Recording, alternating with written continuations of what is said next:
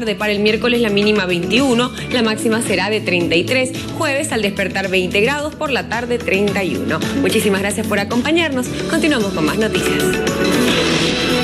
Datos del tiempo. Información en vivo, noticias y servicios que a usted le interesan. Eso es Telepaís y así llegan nuestros titulares. Hallan a joven asesinada. Fue asfixiada en el interior de su domicilio. La policía se moviliza en busca de los autores del hecho. Adolescente en terapia intensiva. La menor de 15 años cayó de un micro en movimiento. El conductor fue aprendido. Conflicto en Senvi Cruz. La gobernación solicita el traslado a Palmasola de los cinco jóvenes que protagonizaron las peleas el fin de semana. En la caja petrolera. Un grupo de trabajadores iniciaron la medida de manera indefinida exigiendo la renuncia del director nacional. Amenazan con bloqueos. La Federación de Cooperativas de Transporte rechazan la modificación de la ley de cooperativas.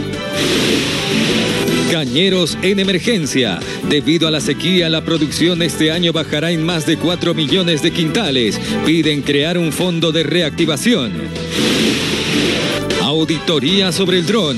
La alcaldía estima que en 10 días estará listo el informe final. El documento será presentado al alcalde para su posterior análisis en el Consejo. Se reunirá el Consejo Universitario.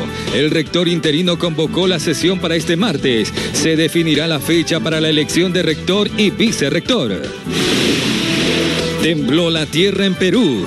Tres sismos provocaron la muerte de al menos siete personas. El de mayor intensidad fue de 5.2 grados en la escala de Richter. Goles de la liga. Oriente venció a Petrolero 1 a 0. Blooming empató ante Bisterman 1 a 1, al igual que Sport Boys ante Real Potosí.